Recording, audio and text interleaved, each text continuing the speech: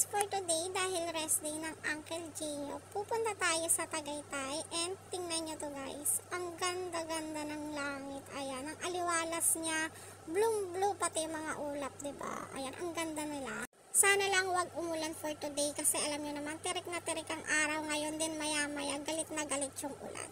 So, nandito na kami dumaan sa may Marcos Mansion. Ayan, dito o nagdadaan yung mga nagbabike. Dito sila umiikot. Ikutan talaga to ng mga mahilig magbike. Pero ngayon, ayan, walang tao. Kasi nga, ang init-init. Diyos me. Di ko alam kanong trip ng taong tong. Kailan talaga tanghaling tapat na tirik na tirik yung araw. Saka siya nagyakag. Diyos ko, sinusunog niya yata talaga ako. So, lagi kami nagdadaan dito guys. Pero, ay, struggle is real.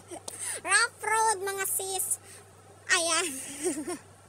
So, dahan-dahan na kami dyan kasi rough road siya talaga. Tapos, ay naku, konting ano mo lang pwede kang mag-slide dyan. So, dahan-dahan lang tayo. Tapos, mga nakakasalubong mo. Tapos, meron pa dyan mga nagmamadali, lalo na yung mga malalaking truck. Ay naku, instant foundation talaga. Ayan, paakyat na tayo ngayon sa taas. Ang daming sasakyan. Medyo bababa pa to ng People's Park. Pero ang daming mga nakapark na. Ang daming naglalakad. Kasi nga holiday ito. Ninoy Aquino Day. Ayan. Diyos ko, wala daw parking sa taas. Pilit tayong pinag-park sa baba. Kaya nga tayo nagmotor para hindi tayo maglakad ng mahaba. Ang kukulit. Pero syempre, dahil matigas ang ulo natin, aakit pa rin tayo sa taas. Kasi meron yan. Doon kami lagi nagpa-park eh.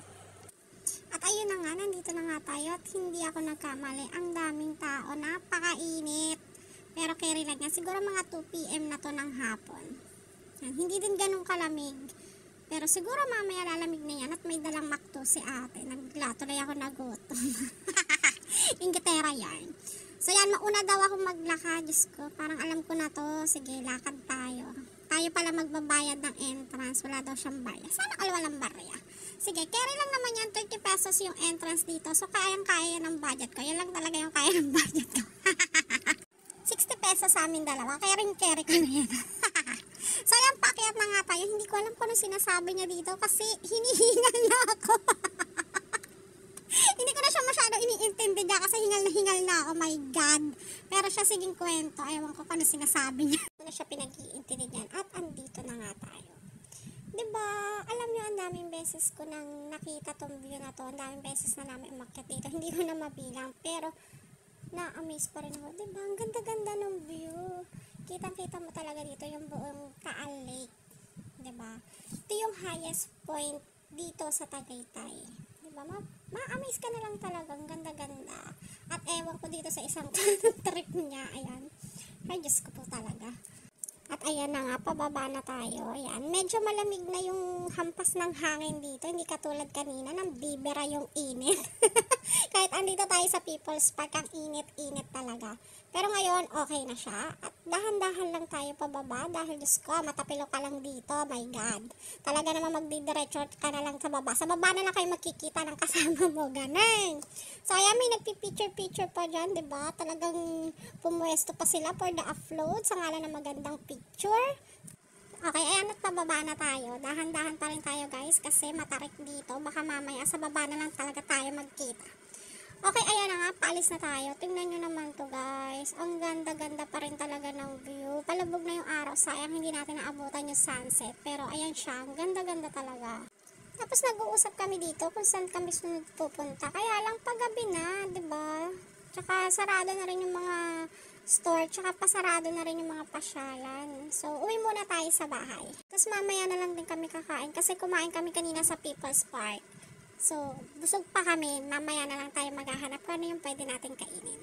Ayan at nandito na tayo sa bahay at may dumating akong dalawang parcel. Kanina ko ba ito iniintay? Eh, na late.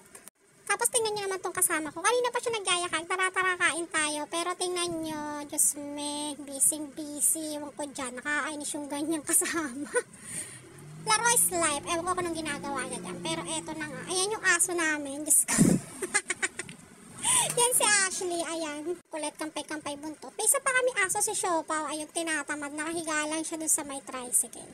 So, ayan. Gusto niya ng lugaw. Diyos ko, kala mo naman walang lugaw dito. Punta pa kami ng bulihan. Doon daw niya gustong kumain ng lugaw. Ayan, pakyut-kyut muna tayo.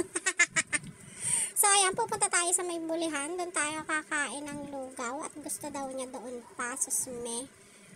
Kahit gabi na talaga eh, no? Dadayo pa tayo doon sa may bulihan. At eto na nga yung sinasabi ko, Diyos ko, kadilim ng daan, ba? Ano ba yan? Para sa lugaw. At ayan, meron na naman po batang na pagbigyan. Tuwan-tuwa siya sa lugaw. Diyos ko, dumayo pa tayo dito sa bulihan. After 10 years, ayan, pauwi na nga tayo. Mga ano na to, 11, 11.30 na ng gabi. At nandito na nga tayo sa bahay. At ayan yung dalawa kong makulit na aso. Ito lang din yung maganda sa may aso eh. no? Yung may sasalubong sa'yo pag uwi mo. Kahit may pasalubong ka o wala. At ayan na nga, for the balot na ang motor. Baka ginawin. so, yun lang po ang aming ginawa ngayong araw. Maraming salamat sa panood. Bye!